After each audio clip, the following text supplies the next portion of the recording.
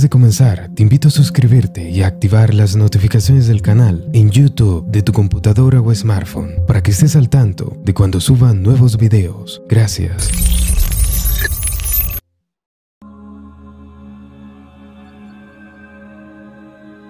Las pinturas son verdaderas obras de arte. No hay más que ver las obras de Da Vinci, Velázquez, Van Gogh o Picasso.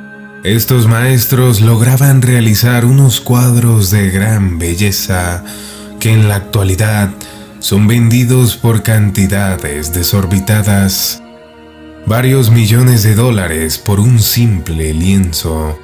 La calidad de los cuadros está fuera de toda duda, pero realmente los precios en los que se mueve el mercado son un poco desorbitados. Sin embargo, hay algunos cuadros que esconden algo increíble. Son cosas que no deberían estar ahí. Sabemos que Leonardo da Vinci era un maestro de los acertijos y del ocultismo, y que nos dejó varios mensajes en algunas de sus obras. Pero aparte de él, una cantidad ingente de cuadros pintados en la Edad Media y en la Edad Moderna representan cosas extrañas en el cielo. ¿Serán acaso objetos voladores tripulados por entidades inteligentes? ¿O quizás figuras que se les ocurrieron al autor en un momento dado? A continuación los cuadros más polémicos al respecto. Esta imagen de la época de los cruzados pertenece a un manuscrito del siglo XII con motivos religiosos.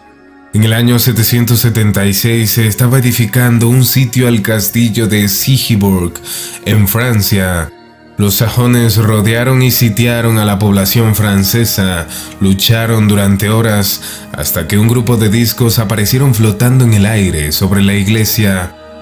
Los invasores creyeron que los franceses estaban protegidos por estos objetos y se retiraron asustados. Esta segunda imagen procede de la popular obra francesa El libro de los buenos modales, del autor Jacques Legrand, que se encuentra actualmente en el Museo Conde Chantilly.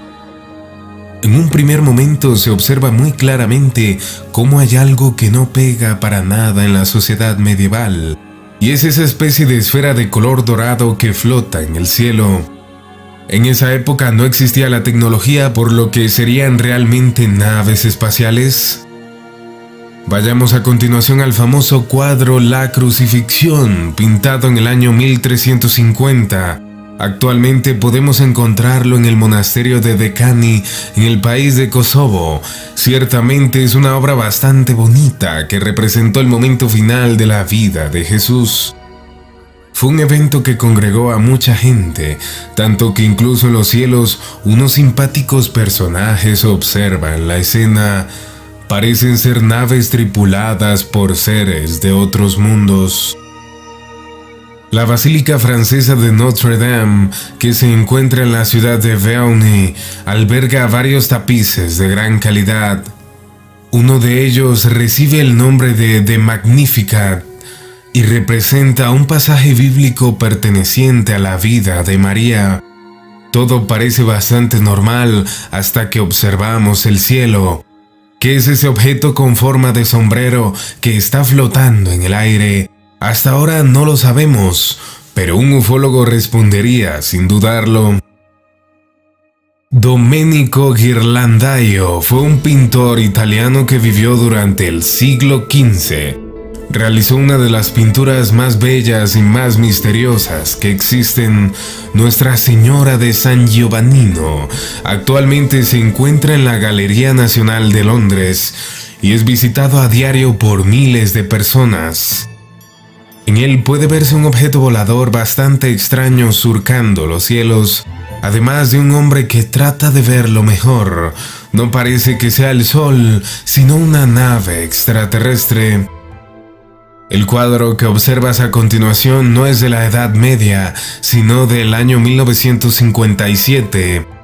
Solamente con verlo, uno puede darse cuenta de que algo extraño está sucediendo. Fue encontrado en un laberinto de la isla Hothuo del lago de Tointing. Muestra a varias personas cazando animales que parecen ser antílopes. Sin embargo, hay algunos que están montados en una especie de objetos voladores. Es tecnología bastante avanzada para esa época. La vida en Alemania en el siglo XVII era de lo más apacible, salvo alguna guerra o epidemia, todo bastante calmado por el lugar. Sin embargo, la mañana del 4 de noviembre de 1697, algo apareció en el cielo de Hamburgo.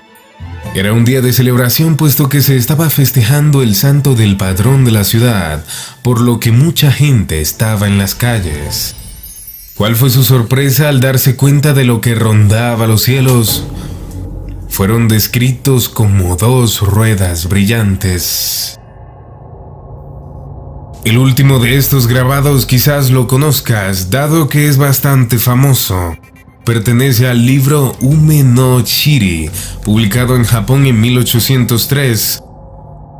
Un barco extranjero fue testigo en Aratonoama de la caída de un objeto extraño. Parecía una especie de cápsula, el exterior estaba hecho de cristal y hierro, el interior albergaba cosas nunca vistas hasta la fecha. ¿Sería una nave alienígena? Lamentablemente no existen fotos para demostrarlo.